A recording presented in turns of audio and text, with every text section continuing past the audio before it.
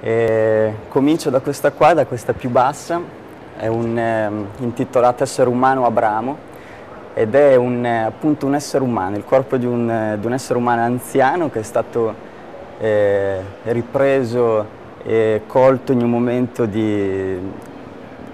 privato davanti alla carta da parati del salotto ed è un corpo eh, che si fa una domanda a cui non riesce a rispondere. In realtà la domanda non è niente di complicato o di esistenziale, eh, però è quella domanda che crea un fermo nel tempo, che lo ferma e, e è un momento di sospensione totale. E, ehm, è vestito, è nudo solo con le mutande perché è un momento privato, eh, quindi un momento dove non,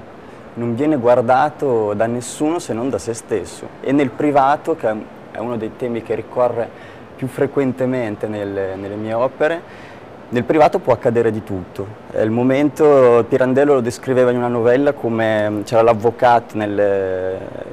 novella della carriola che nel privato prendeva questo cane e lo trasportava come se fosse una carriola ed è proprio il momento in cui ognuno libera eh, il proprio sé. Quello di sopra invece è un'intervista e l'intervista però anche lì ricorre la, la questione della domanda, la domanda a cui uno non sa rispondere. E questo è stato ispirato a una domanda che è stata fatta da, ad Andreotti durante una trasmissione televisiva, gli è stato chiesto quale sarebbe stato il futuro dei, dei nostri bambini. Lì lui ha avuto un, una sorta di mancamento, di malore, in realtà per chi lo guarda, almeno per me che lo guardavo da fuori, è stato il momento in cui non è riuscito a rispondere. Il politico e l'uomo potente eh, che ha una risposta per tutto, lì non è stato in grado di, di rispondere perché di fronte all'innocenza del, del, bambino e alla pesantezza del, della domanda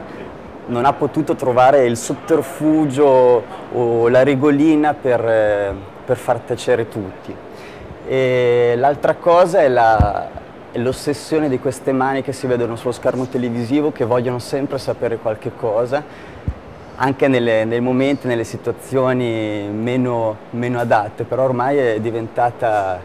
eh, una routine, quello di chiedere come stai, cosa sta succedendo, che cosa farai dopo, in situazioni incredibili quale può essere la tragedia e così via.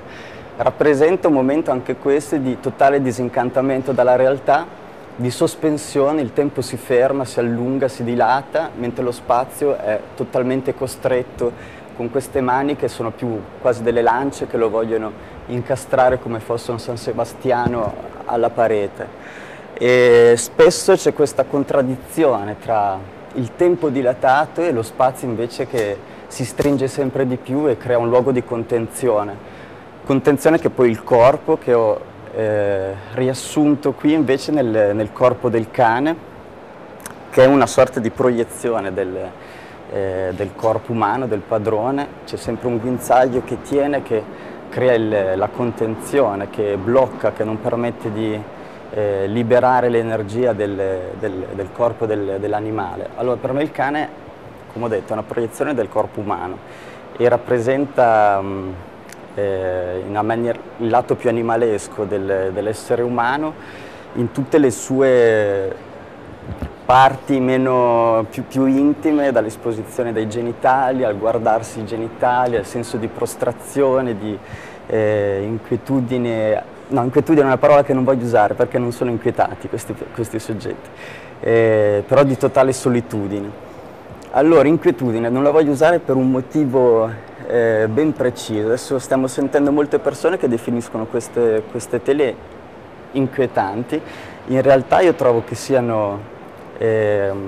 immerso in un'atmosfera di quiete totale, eh, una pace dei sensi totali che però funzionano perché per chi le guarda invece va a creare, a smuovere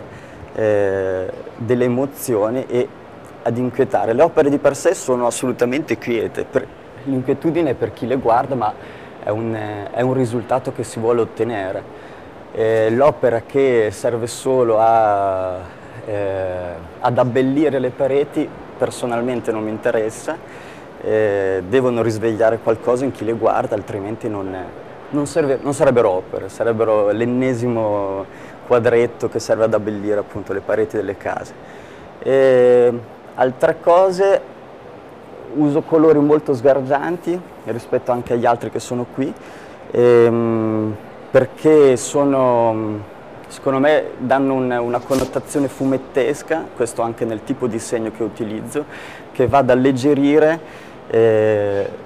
le, che va a alleggerire un po' l'opera, dare un, un tono di colore ironico ai temi che magari sono un po' più eh, pesanti, in modo sempre a creare contraddizione contra e dei contrasti. Le, mh, questi personaggi mi, a me ricordano e prendono spunto molto da, da Buster Keaton, in particolare dalla sua incapacità eh, di affrontare il problema del, il problema del vivere. E penso che tutti un la, viviamo un po' alla Buster Keaton, quindi eh, un'incapacità di affrontare i problemi importanti e l'incapacità di sorridere di, di, questioni fondamentali, facendo però molto ridere per chi, chi fa l'osservatore. Cerchiamo di nasconderlo e, e trovo che sia eh, un'ingiustizia perché invece è una, parte, una componente fondamentale del, del, vivere. Questi sono personaggi che sono tutti ispirati al, allo sguardo di, di Buster Keaton, al, al film in bianco e nero, soprattutto per quel che riguarda le fonti di luci e, e le ombre che, che, si creano. Per quel che riguarda i cani in particolare, lo spazio è, eh, è stato scelto, questi sfondi sono gli sfondi che venivano utilizzati per fotografare i freak, eh, quindi gli uomini più alti del mondo, le donne ciccione, i freak che venivano utilizzati nel circo, al Barnum Circus in particolare, eh, ed è come se andassero a eh, riprendere la posizione che era prima occupata nelle fotografie antiche da, eh, dai freak, dagli uomini deformi eh, che venivano derisi dal, dalla società e che in realtà dal mio punto di vista sono un, un esempio di, eh, di, bellezza. La deformazione non è, è una nostra eh, formazione mentale, deformazione mentale in realtà. definiamo il nostro corpo nor normale mentre se facciamo una descrizione astratta del corpo, ogni corpo, anche quello deformato, è un corpo perfetto, bello e che può essere ripreso e, e diventare soggetto nel, del, nel, mio caso dei quadri. I freak nel,